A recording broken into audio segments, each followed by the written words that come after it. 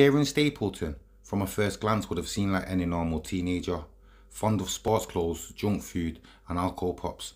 Raised in the Ordsall area of Salford, he found work from a young age and seemed to be heading in the right direction in life.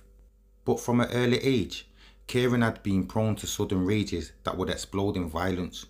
His disruptive behaviour at school led to him being referred to a child psychologist when he was 11, but Kiaran didn't go to the appointment. He ended up being expelled from school and was referred to a centre for youngsters with behavioural problems, but he never attended and his education had finished completely by the age of 15. At this time in his life, Kiaran, being a keen gardener, won the New Prospects Housing Best Kept Garden competition. While he appeared to have overcome his troubled youth, family and friends reported that he had always been prone to strange mood swings and flashes of temper and was otherwise impossible to read. By the age of 17, he was working for his uncle as a builder, but would fly into rage whenever he messed up at work. He also worked as an office junior for Salford Council and at a call centre before settling down for a £250 a week job at a factory in Trafford Park. He met the mother of his child when he was 16 and the couple's daughter was born in September 2009.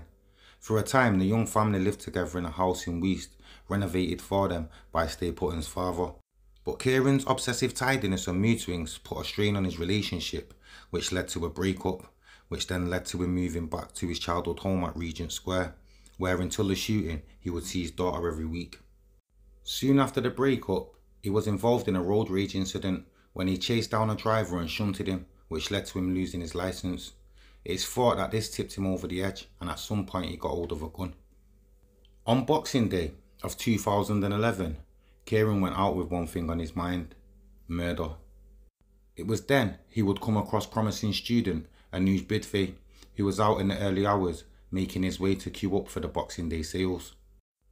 As Anuj walked along Ordsall Lane with his friends, he was approached by Kiaran, who was with a friend. His friend had no idea that Kiaran had a gun. Kiaran asked them the time to which one politely told him it's 1.30am. Kiaran, with one hand stuffed in his pockets, produced a 9mm Glock and put it to Bidve's temple and fired a single shot for no obvious reason. He then ran back across the road to his friend and they ran off as Bidve's friends tried to help him. Kiaran laughed after the murder, then went and got a teardrop tattoo, which is symbolic of taking somebody's life. On his first appearance in court, when the judge asked, Are you Kiaran Stapleton? He replied, no, Psycho, Psycho Stapleton. He then went on to deny murder but pleaded guilty to manslaughter on the grounds of diminished responsibility. He claimed that a personality disorder affected his self-control and that he didn't know what he was doing. But the jury rejected Kiaran's claims of innocence after a month-long trial in which he said he felt nothing about the killing and had not given a single thought to his victim. The trial heard Kiaran had selected Mr. Bidve as his victim simply because he had the biggest head. Before the verdict was announced, Kiaran, wearing a grey tracksuit, jogged up the steps to the dock from the cells. He looked around the courtroom and grinned before the jury foreman stood up. He stared straight ahead as the verdict was announced. As Kiaran left the dock, he looked towards one of his sisters in the public gallery and gave a big smile. The sentencing judge said Kiaran had committed a truly wicked act and was highly dangerous and posed a risk of serious harm to other people. He told Kiaran, In my judgment, this was no impulsive act on your part, it was a piece of cold-blooded, controlled aggression. He said Kiaran had shown the most callous disregard for his victim in laughing and smirking after he shot him, and also through his behaviour during the trial when he frequently grinned and laughed in the dock.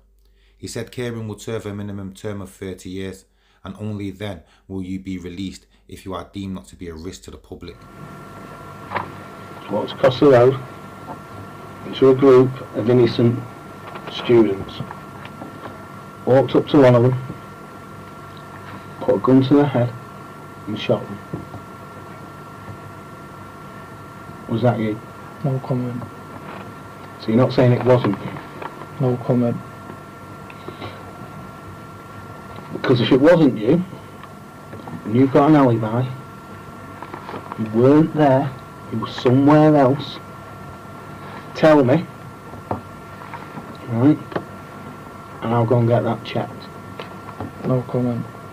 Teardrop tattoo is of significance because it symbolises that the wearer is responsible for killing another person. Is that why you had it done? No comment. Badge of honour No comment. means a few things according to the internet. That you've killed someone